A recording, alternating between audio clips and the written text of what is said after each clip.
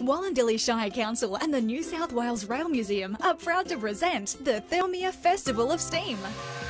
Join us on the second weekend of March with events for the whole family over Saturday and Sunday. Celebrate over 30 years of rail history. See and ride on up to eight heritage steam engines. A fun day out with amusement rides, live entertainment, markets, street parade, and so much more. For tickets and details, go to thirlmerefestivalofsteam.com.au.